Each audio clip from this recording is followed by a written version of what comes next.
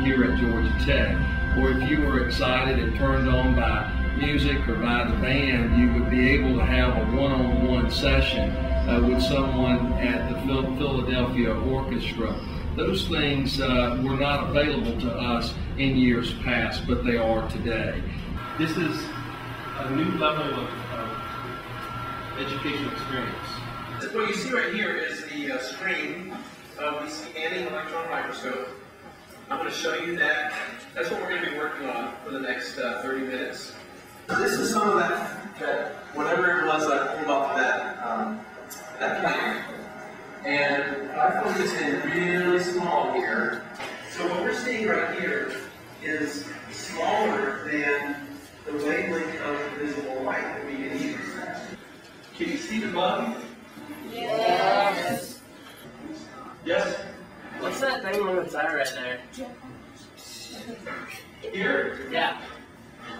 Uh, probably some dirt or something. Remember, this bug was probably dead on my windowsill for months. probably, picked up, probably picked up some dust. What did you want to be when you were a kid, and uh, how did you become interested in your It- field? Yeah, that's an excellent question because I still, to this very day, want to be an astronaut when I grow up. So, still working at that. Um, that's why I came to Georgia Tech, made, got my doctorate. Being a professor at Georgia Tech is a pretty nice second place thing, but I still want to be an astronaut. Next election's in a couple years, so we'll see what we do. All of the exhibits at the aquarium saltwater. No, all of the exhibits here at the aquarium are not saltwater.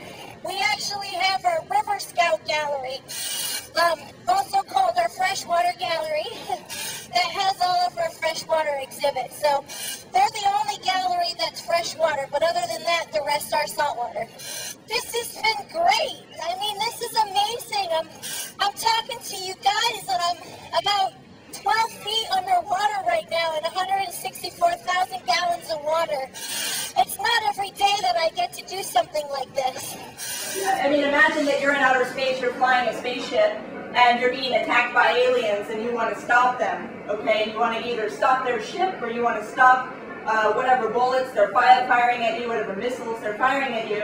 Uh, one thing that uh, you know an engineer might dream up, or a science fiction writer might dream up, is the idea that you could somehow grab onto their ship and hold them in place with some kind of invisible force field, okay, or with some kind of laser beam, or that maybe you could grab onto the missile that's coming your way and stop it, okay.